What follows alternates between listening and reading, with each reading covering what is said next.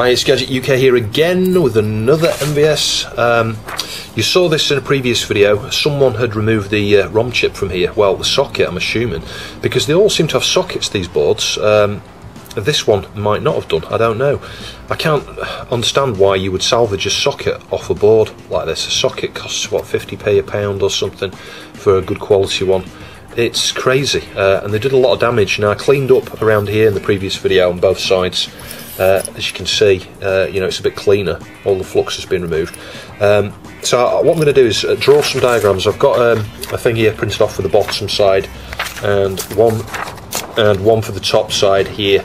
Uh, and I'm just going to make a note of where pads are missing and things like that. And what I'm probably going to do is use uh, turn pin actually, because you can uh, see uh, the you know you can get access to the underneath of the pin solder little wires and things to on the top side if you need to.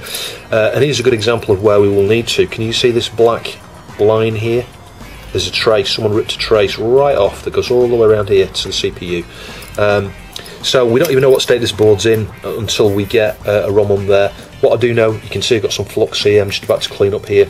I borrowed the, well, stole the SM1 off this in the last video to get uh, the other board up and running. So we do know we're going to get a Z80 error, but I'm just more interested to see, what, once we've got a ROM on here, what happens? Do we get a watchdog? I'll then get the diagnostics ROM on and see what happens. Maybe we've got a, a, RAM fault somewhere. That's perhaps what's wrong. It's most probable, unless it's been overvoltaged. Uh, but you know, one of these chips could have failed. Uh, one of the custom chips. Um, We'll just see.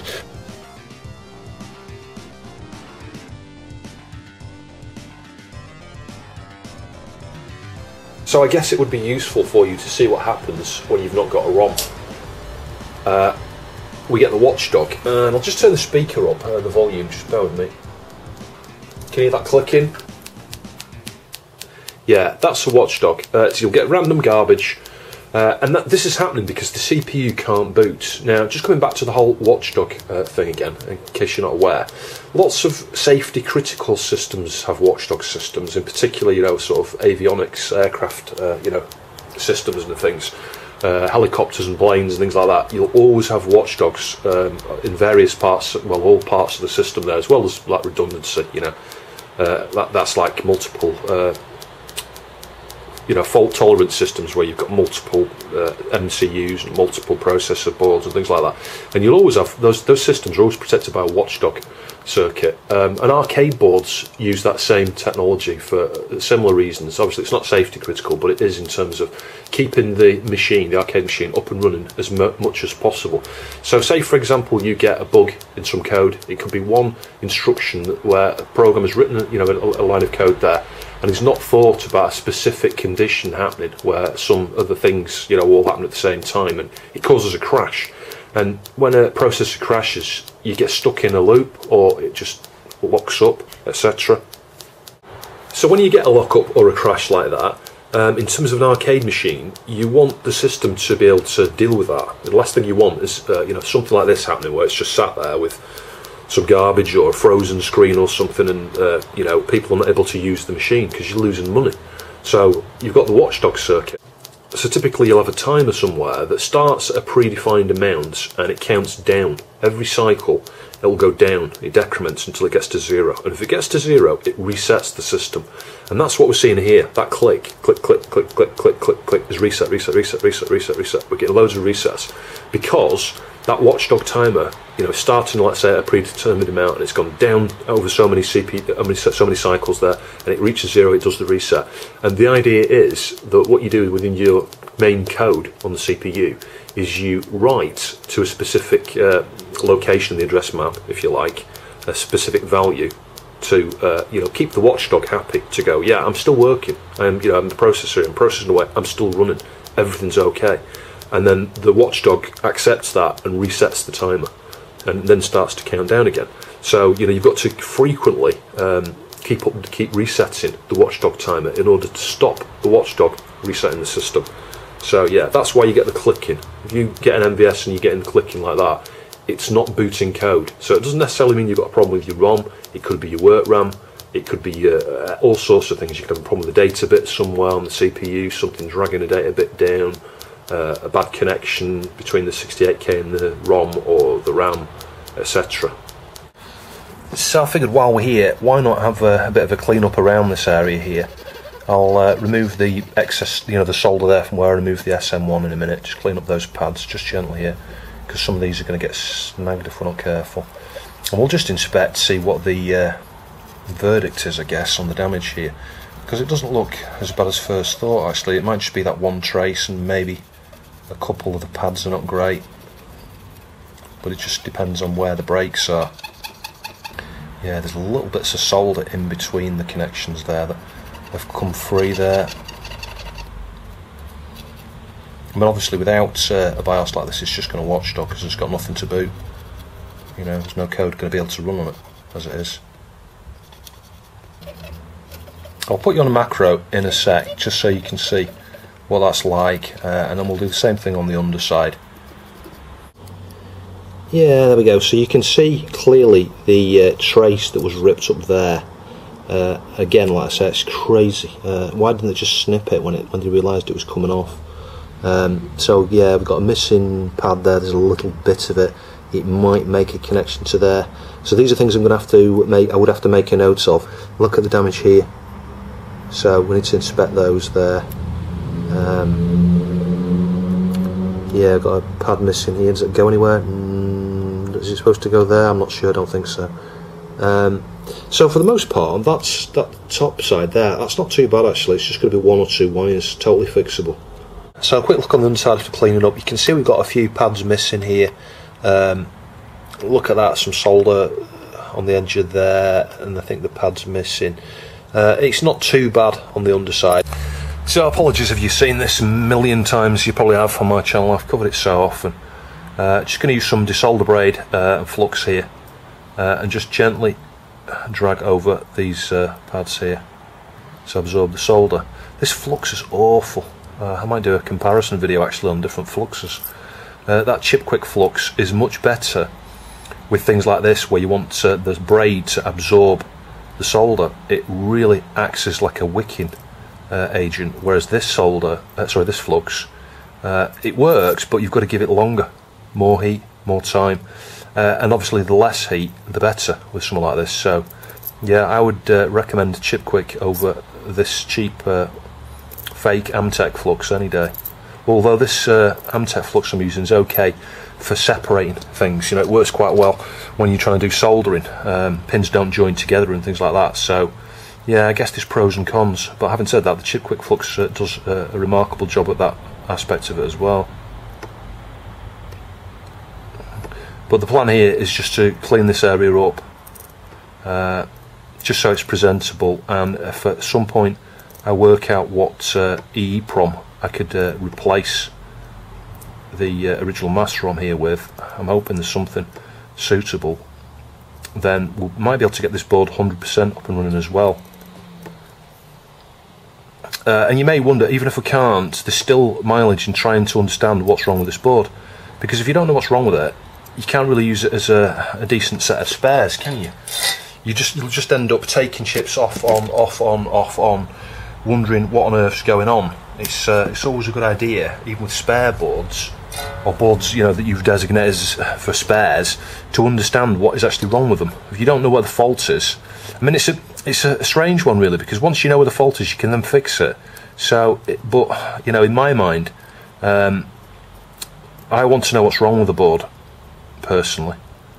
Um, you learn a lot, even if you can't fix it. If you understand what is wrong with it, you can uh, at least then uh, have some confidence in the, the, the other parts on there, perhaps. Uh, unless it's been over voltage, in which case lots of things could be faulty with it. But more often than not, that doesn't happen. More often than not, something shorts as a result of the overvoltage and uh, saves everything else.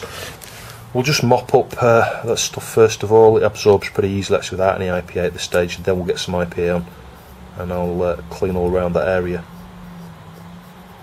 So there we go. I've cleaned around that general area. You can see that's looking super tidy. I'm just going to draw them up now on here uh, so I, I, know exactly what state these are in on this top side uh, and then we'll have a go at sticking uh, like I say a turn pin socket on there and uh, patching some links and things. The, the, trace it's detached from the pad. So I've just uh, followed it around here and it goes to pin 47 so 44 45 46 47 on the 68000 there. Uh, and you can see it's marked 44 in the corner there. Hopefully you can see that. And the, you know there's little notches to indicate uh, batches of five I think. So you can work out pretty easily where the uh, the pin the pin number uh, and if we just go to that trace and I wobble around there I can't find the damn thing now it's hard at this distance yeah, can you hear that? We've got a short there to 44. So, uh, and then I'm just reflecting that on my diagram here. So I need to know, I know that I need to put a wire here from to the 68k on pin 47. Uh, and I'll just continue working around. There's only going to be three or four, I think, on the top. So what's happened down here is uh, scary. I've had to use the uh, fiberglass pen to expose some of this. But can you see? It's like there's been a gouge and it's bent the traces, it's pushed the trace down and into each other so there's some shorts and things around here. So I'm going to need to continue with the fiberglass pen there just to expose a bit more of the, remove some of the, the solder mask, uh, off, uh, silk screen rather, off uh, here so that I can see it a bit clearer.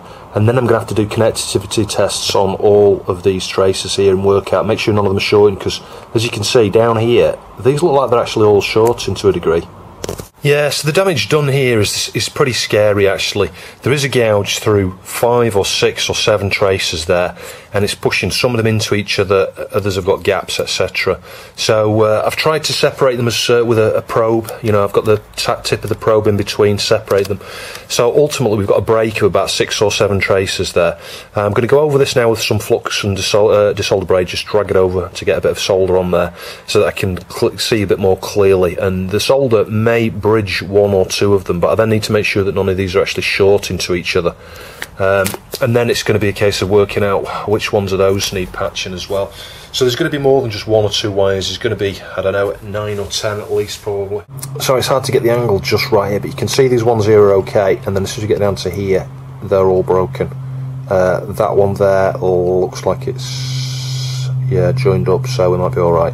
So there's going to be five or six there, I think that are needing a wire. So that's it on the top side. We've got a couple of connections there to the 68k, one there, and then down here, um, pin 4, pin 3, pin 2, pin 1, pin 68, all on the 68k. Uh, and then down here, there's a pad missing, and it, it went down to, uh, sorry, it went up to uh, the, the, trace that goes under here, which joins up to these two pins here. So all three of those uh, joined up. It's going to be like the program pin, the VCC, and the uh, uh, not connected pin, perhaps. So with the underside, I don't think I need to draw anything on a diagram because I'm going to be able to see this all the while I'm working on it. Now there's something to note here, where you've got pads missing, like there's three missing there, or certainly those two missing, the solder's not going to flow through to the other side.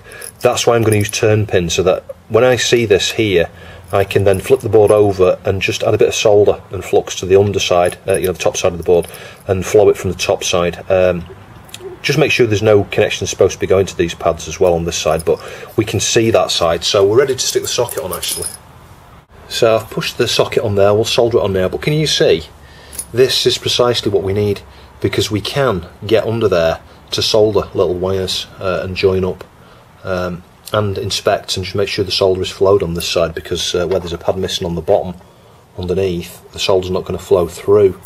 So yeah we'll uh, make sure that's firmly on there and solder that in place.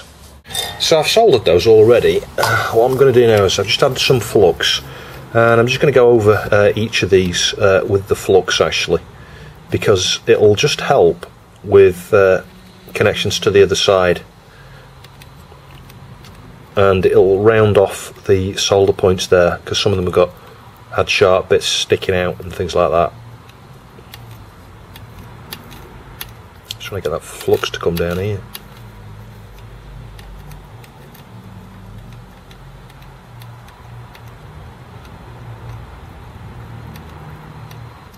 Yeah, it's not too bad on that side. Just give this side a go. and you can see there that little SMD cap it's supposed to be joined there to that uh, first pin so I've just lightly cleaned up around there you can see that's not looking too bad as is uh, obviously I'll get the toothbrush on later so what we'll do now is we'll flip it over and uh, start to inspect on both sides there to see what's flowed and what hasn't flowed actually. And straight away I can see the uh, first couple of pins here, first three pins where the pads are missing on the other side. It's not making a, a great connection. So this is where a super fine tip uh, iron would uh, help. But what we can do is, in fact, we'll just get some flux in there. Get some flux there and just heat those uh, pins from this side with a bit of uh, solder. So that's our socket on there, uh, and I have, uh, like I say, flowed from this top side here, where there's a pad missing on this side. That's the only scenario where you need to do that, really. So all we need to do now is uh, is deal with these uh, bits of damage. Got some offcuts here of uh, Kynar wire. It's quite fine stuff uh, of different colours, different lengths. So I'll use the longest bits, obviously, to start with for the, the, the longest traces. Uh, I'll start with that small one there because it's super small. And all I'm going to do is add a bit of flux and solder, join you know to the relevant pin on this side here, and uh, just route the wire around to the relevant place on the CPU. So the first one I'm doing is pin 45. So I've got a bit of flux down here. Just clean the uh, iron, and we'll just uh, heat this just to get rid of the flux. There we go. Uh, so 44 is marked on the board here, 45, 46, 47. So it's the fourth one up. Uh, I just need to uh, add a little bit of solder, not much. 44, 45, 46, 47. Uh, yeah, add a little bit of solder to that point. There we go, I've done it. Uh, and then introduce my Kynar. Uh, so I'll just get it in there. And this is the hard bit. I really could do with uh, a magnifier or a microscope or something so that I can see what I'm doing as I'm doing it. I'm going to end up bridging pins here if I'm not careful.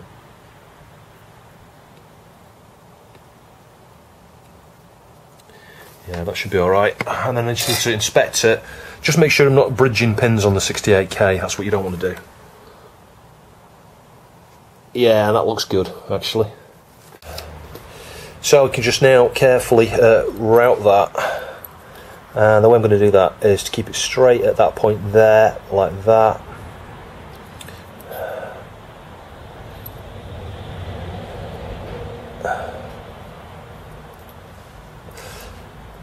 And I can put some hot glue on these afterwards, but it just needs to go across here to like the six pin along. So I'll just I'll just do that.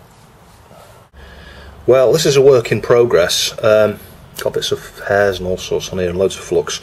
I'm not leaving it like that. I'm going to get some more of this Kynar because these are just offcuts I had, and I've just really quickly, well, I'll say quickly, it's taken the best part of about two and a half hours actually. Um, it's tracing the connections and things from the uh, chip here to this uh, CPU, you know, from the ROM to CPU. Uh, so I will clean it up considerably before I show you the end of this, but uh, we'll power it up now and see what's happening. Oh yes, fantastic. So we've got legit error now. So yeah, W RAM, so it's the main work RAM. Um, actual 8000 expected 0000. So I think uh, that's going to be the upper. Uh, yeah, the upper. So the upper work RAM would appear to have failed. So I need some uh, 6225 chips for this one. And something interesting to show you here, if you hold down A, B, C, D to go into the individual test menu here, if you test anything, it'll just loop back round again and say the, VRAM, the WRAM's dead.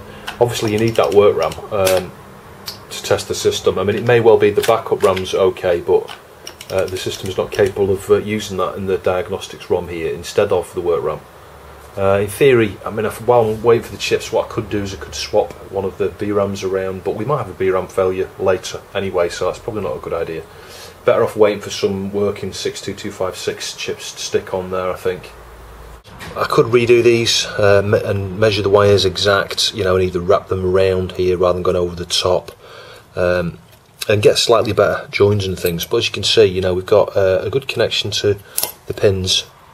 Uh, there's two there uh, and then this side these are all coming from the top. One two three four five I think there. So yeah it certainly could be cleaner but bear in mind it's not even got an SM1 list. This board is not going to be a fully functioning board. It's not I'm going to sell it. Um, but at least I know now uh, it's just the WRAM so I'll wait for the WRAMs to arrive. We'll swap those out anyway just to get this up and running. Um, and then I'll have a think whether there's anything we can do with this actually um, in terms of uh, an EEPROM uh, service mounted. So I might as well clean up some areas of the PCB like here, you can see where the battery has been uh, there's some marks around there. It's pretty dirty, flux and stuff from when the battery was removed.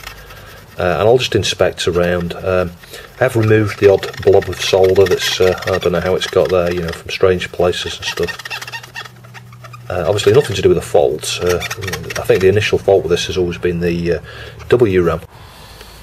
So my 62256 uh, RAM has arrived. Uh, ignore that. That's socketed as part of another repair, actually, just to rule it out or to swap that over. So uh, nothing really to see there other than the fact that's now got a socket.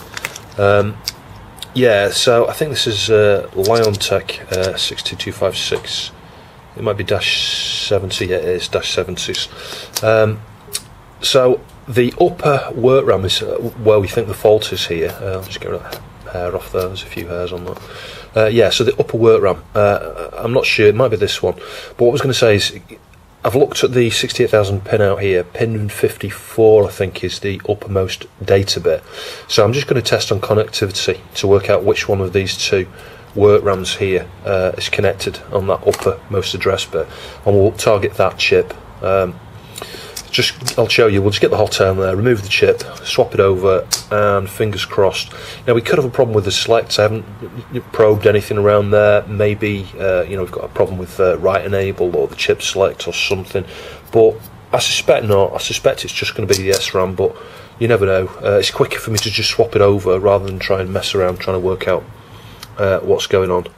Uh, although perhaps it would only take a minute to check it. But anyway, we'll swap it out. I'm sure that's probably what it's going to be.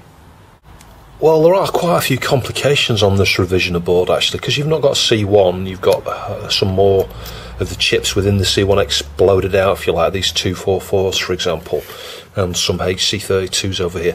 I think these might be for like the chip selects write enables, I'm not sure, because I did see some connectivity there. Anyway, I've tested these with Logic Probe, they seem okay. Uh, you know, I can I don't see any stuck lows or stuck highs when you know there shouldn't be. Um, but then I thought, well, let's try and work out which one of these is the upper and which one's the lower because it's the upper I'm focusing on at the moment. There's no direct connection between the data connections on the CPU here and these, which is a pain, seriously a pain. Obviously, we've got connectivity to the CPU here, otherwise it wouldn't be booting the ROM. But then I thought, well, we should have a connection between that third pin there, you know, the uppermost uh, data bit. Did I say address bit? Data bits we're talking about here. Uppermost data bit. Um, Q15 or D15. Um, and I thought it must be going to one of these buffer chips over here, and lo and behold, it is, which is uh, unfortunate because it could mean we've got a faulty chip here. Now, we could, if we've got a fault there, we could piggyback it with a 74LS244. You know, I'd have to cut some pins off and stuff and attach it on there, connect up the uh, control signals and stuff, and reroute the uh, input through it, uh, you know, through the chip on top to uh, I think that should be all right as long as I get the right speed. It should be okay.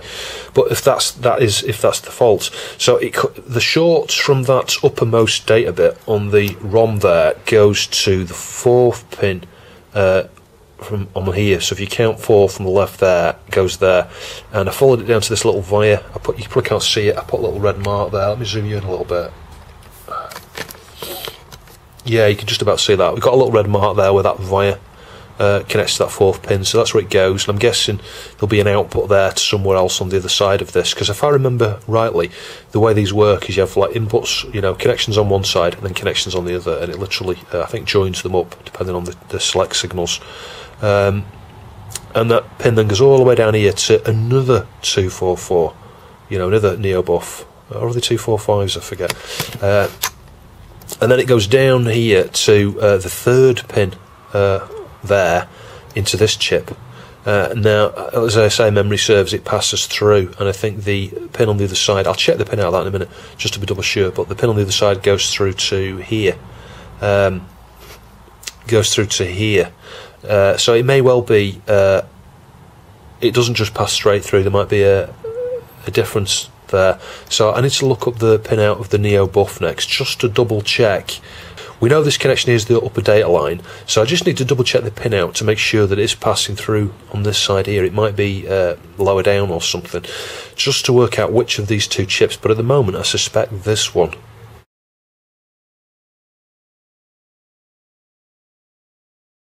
Yeah, I'm learning all the while on this one. With the Neo C1, normally that reads the inputs and buffers them with high impedance. And I think these normally belong inside the Neo C1.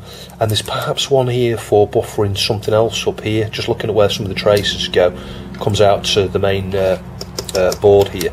So I'm guessing that that's functionality from within the C1 by the looks of things. And I'd overlooked the obvious. I was trying to trace from the uh, third pin here, which is the uppermost data bit, uh, and I was not getting connectivity, and that was making me think that it went through here. What I should have done is if I go down to the next pin, uh, this is the second uh, most upper data bit, and we uh, trace along here to the fourth one from the inner there. So one, two, four. We've got a short. So that's right, that's connected to the second most upper data bit there. So this is the upper chip. Uh, let's get that short again. And if I move the probe uh, up here on the ROM, uh, up one to pin three, that is the uppermost data bit, and it should be the next one up on here. And it isn't. We're getting a little bit of resistance maybe, but nothing. So we just need a, wire from pin three here to the fifth from uh, here. One, two, three, four, five. So uh, I'll see if there's a wire underneath somewhere that I can attach that to. We may well get past that and then find we've got another problem. Maybe a backup RAM problem, maybe a problem with the graphics side of things, maybe it's uh, still game over for this. I've got no idea. But we'll patch that up and see what difference that makes. And if you think about it, that makes sense. You know, the upper uh, data bit there, that's why we gain 8 0, um, I think, instead of 0 0. So I traced it to the uh, right hand side via there. You can see I just put red mark. I'll clean these little marks off when I'm finished. And it just goes over here to the ROM. And you're probably not going to be able to see. It's just there. The trace is broken from the pad. That was one that I must have missed. It looks like it's joined, but it's not. So I just need to just extend that with a tiny piece of Kynar. I think that's all I'm going to do. Um, yeah, it's better than running along a wire along there. I can just literally just fix that because they are really close to each other. Well, would you believe it? All tests passed. So I'm glad I didn't uh, start replacing that SRAM. It's ironic, I've been waiting a week and a half or something or two weeks for that uh, SRAM to arrive. Um, but it was only really just, you know, me thinking things through. Let's just follow things and just check some of the obvious things before we start going down the road of replacing it. So I'm glad I did that. Um, so the question is, what's actually wrong with this board then? I mean, other than the fact that someone you know wrenched the original ROM off. And incidentally, uh, I've got a correction from the beginning of this video where I said, uh, you know, some of the, all the MVS boards are socketed. These ones with the the dip chip. Uh, these ones aren't. This particular one, this revision, it would have been soldered on there. So that's why it's uh, been well. That's not why it's been levered off. It's been levered off because a Muppet's got to it. But uh, yeah, it would have had a mask ROM fitted, soldered directly on there, no socket. Um, maybe there was never anything wrong with it. Maybe someone just uh, decided that uh, it would be a good sacrifice to fix something better, maybe a bigger board, a four slot or something, or a two slot. Uh, anyway, we'll test a, a, game out. Let's just see what's happening. Selecting start. Yeah, Z80 slot switch ignored. We've got the same problem we had. Yeah, we've got a sound fault on this board, just like on the other one.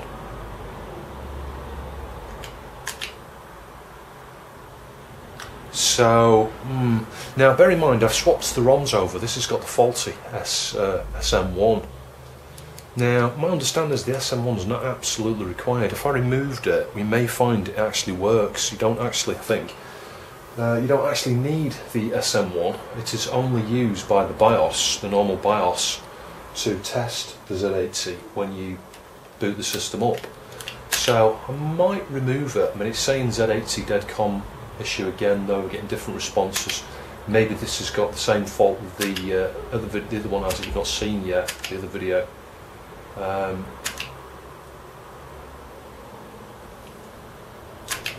interesting. Yeah I mean it could just be the Z8C, but we're getting the same thing again as well YM2610 unexpected IRQ it's almost identical which makes me think this is a common fault on this particular board actually because I've seen the same thing on two different boards here. See if we're getting sound. Well that is interesting. I can't help but wonder if the fault is the SM1.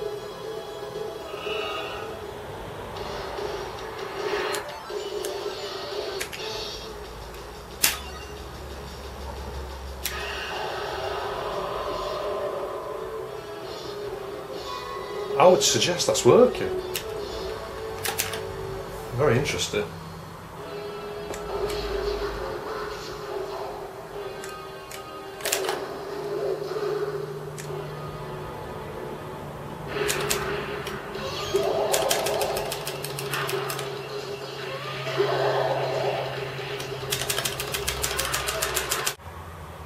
No, we do. We do get a Z80 error there.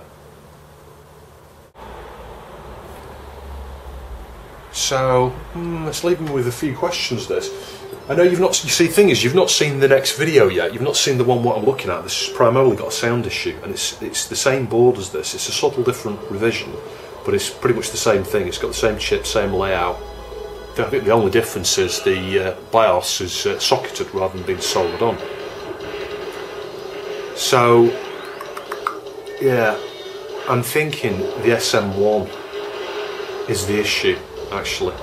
Now, for move, obviously, it's not going to pass the diagnostics, but the fact it's working leads me to believe the Z80 is okay, the Z80 RAM is okay, and the YM2610 is okay. It sounds totally normal to me. Yeah, just listen to this. It sounds normal.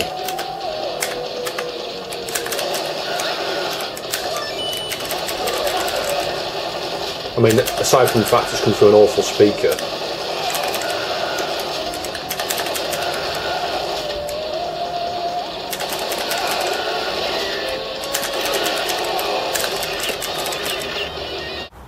And just for consistency, testing with an official ROM, you know, the official BIOS SP2, you can see we do get a Z80 error. Now we know the Z80 is alright as far as I can see, because all the games we tested, it sounds flawless. So yeah, it's got to be the uh, SM1. Um, it leaves me with a dilemma of what to do. Now on the other one, there's a bit more. I don't want to tell you what I've done with the other one, what I'm waiting for. But uh, I think, based on the fact that it could cause more damage, if that SM1 let's say it's outputting what it shouldn't be doing, it can interfere. Uh, so whilst it might be working well on this board, it could cause something else to fail. So I'm tempted to remove the SM1 for the moment actually, because it doesn't need it. If this board's using a UniBIOS, you can just skip past the error and it will work. Uh, maybe we can find a solution to the SM1 ROM because, as I mentioned earlier, you can't get uh, an EEPROM, or, you know, equivalent of the same sort of size or an EEPROM um, there's nothing in that profile there. So I've got some Kapton tape top and bottom there just to protect it. We can always replace this chip, you know, fit it back on there later or put a replacement on if it is faulty. But I thought we'll just test with the SMT, uh, SMK DAN DIAG BIOS and the M1 DIAG uh, and see what's happening because I'm hoping we see a slightly different uh, you know error there. We might get a problem with the SM1 but we may see uh, a difference in the Z80 side of things. It might go out, Z80 is alright, you just got a problem with the SM1. Because we saw that unexpected IRQ from the YM2610 there, and that's exactly what was happening with this ROM on its original board. Uh, as you saw at the start of the video, this, this board uh, didn't have the ROM on there because I swapped it over to the other one. Uh, interestingly enough, the it didn't make much difference on the other board, as you'll see in the next video, but we did make some progress, certainly for a period of time at least. So this might not be the underlying cause, it could be something to do with the way this ROM is selected. Um, I'm not ruling that out at this stage.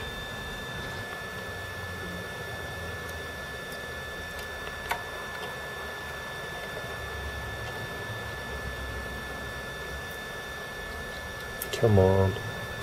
It's free, but then it's just moved and soldered itself back on a bit. There we go, that should be okay, I think.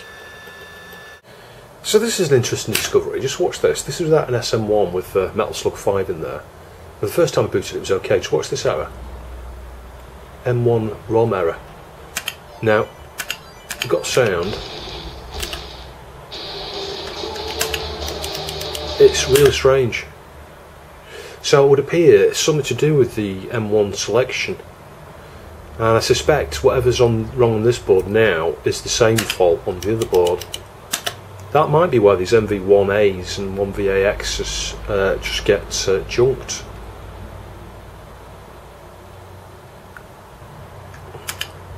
See, we got it there, then when I pressed the select button, we got no sound. But then, at some point, it reinitialises itself, I think. It's not doing now. So I'm having a seriously hard time trying to understand this fault, actually. Because, as you can hear, the sound is fine. But watch what happens if I switch it off. Uh, in fact, if I just do a soft reset, that'll do it. Just watch you get this M1 slot error. Something on the cart itself is actually doing a check on certain games. See that? And then we're probably lacking sound. Do you hear that? No sound. But if we switch it off and on and go back round, now I'm using the 161 and one here just to test this, but they're getting the same thing with loads of other carts as well, official carts and things. Um, it's really strange, but like the first time you go in, you're okay. You know, uh, let's load let's load Matron again. So we'll probably get that error, maybe. No, we haven't. So the sound's okay. I don't understand. Don't understand what's going on. It's like something's latching, uh, and then it's not after a reset. I mean, I would suspect that if there was a problem accessing the M1 ROM, we would hear it within games. It's not. Maybe it's going to. I don't know how the banking works on the M1 in terms of it switching to the different blocks there, but on a game like this, it's got tons of sound. I would imagine we would hear it pretty quick if there was a fault.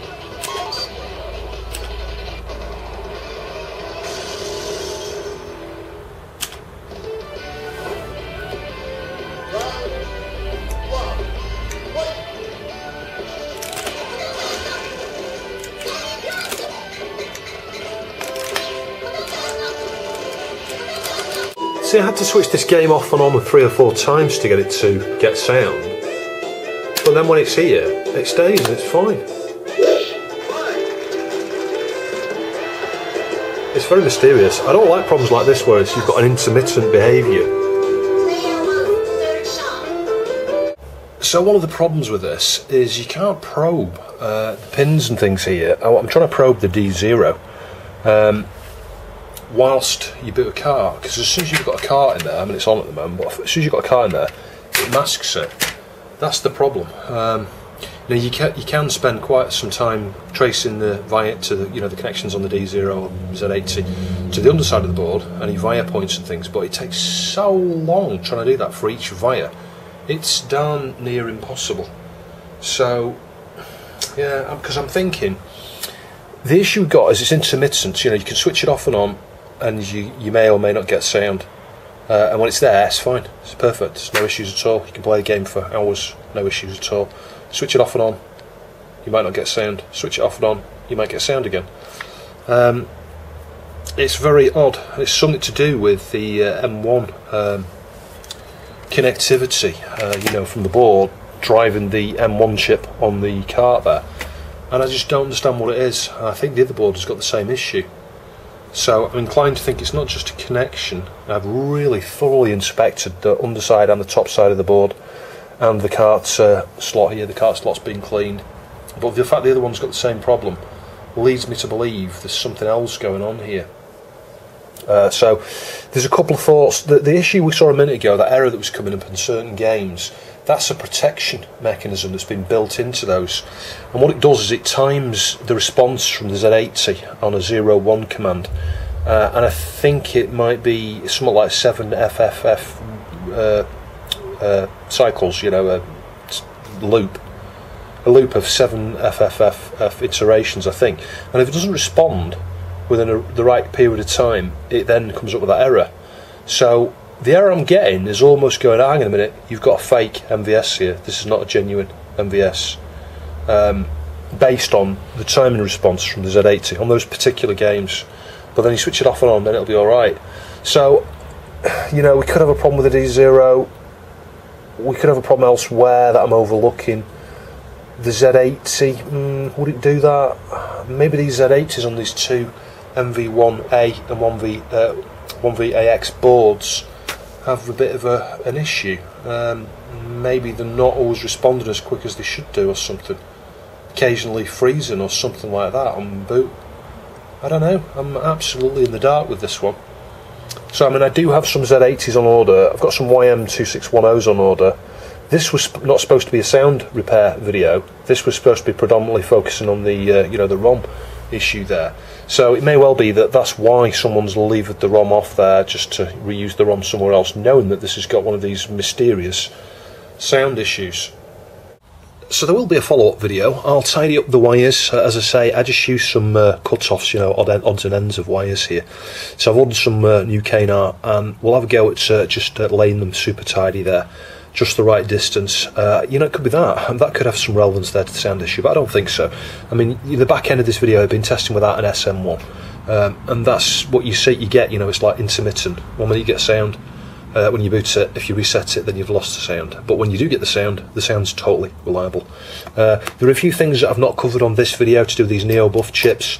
Um, you'll see that in the next video. So that's going back to the original MV1A board uh, that you saw in the previous video. We get that up and running 100%. Uh, now, sadly, the fault that was with that one doesn't seem to be the case with this one. Um, and it doesn't seem to be related to the SM1 missing. It could be. Maybe if I had a decent SM1 there, would have the sound every single time. I'm not sure. Um, but in any case, the main purpose of this video is to just get this board up and running, which we've done. Uh, there are no other problems with this uh, board. It was a good job I didn't just jump in and swap the uh, the work RAM around here. It was just a consequence of trying to follow the upper uh, data bit that I managed to work out that uh, you know the connection was missing there, and it was just another something I'd overlooked on the ROM.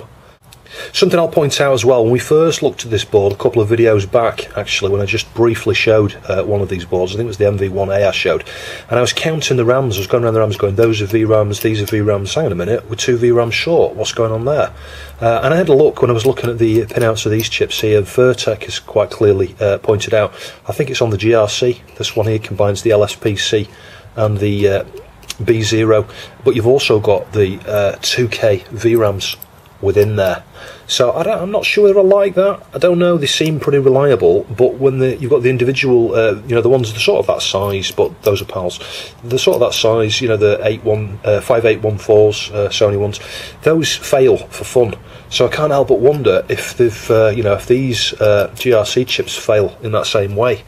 Um, please post in the comments down below. Have you had a GRC fail with that? You know, uh, the lower VRAM or whatever it is, or is it upper VRAM? I forget.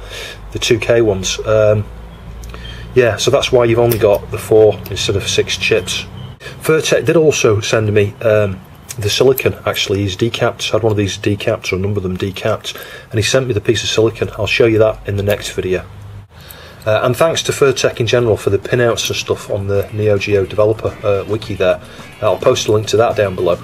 It's a super useful website, and without the pinouts and some of the information that Furrtek has put on there from reverse engineering various things, uh, these would be a lot harder to work on. But uh, gradually, I've made some progress working through these uh, MV1A boards. As you'll see in the next video, made some good progress uh, around this area here, understanding what's going on with the problem on that the MV1A. Anyway, please like, share, and subscribe. Uh, thank you very much for watching, and I'll see you in the next one.